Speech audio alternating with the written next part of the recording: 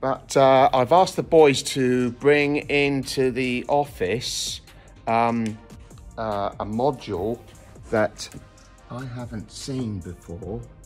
And as you can see, it's called an ASR 1000-ESP 200-X.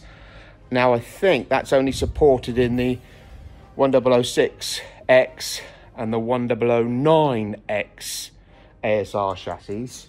Um, but uh, anyway, I'm just going to take some photographs for the file.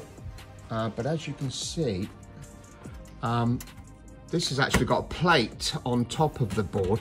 I suspect that's actually to protect it because I, because I don't see any circuitry on there. So really that's a protecting board.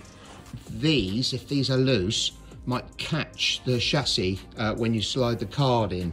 So that's that's a, that's a good idea. I just thought to take that one for you because uh, that is um, you can't get these. Uh, I think they are on um, 170 day lead time from Cisco. But anyway, we managed to get a couple of these. Anyway, have a great day. See you later. Bye.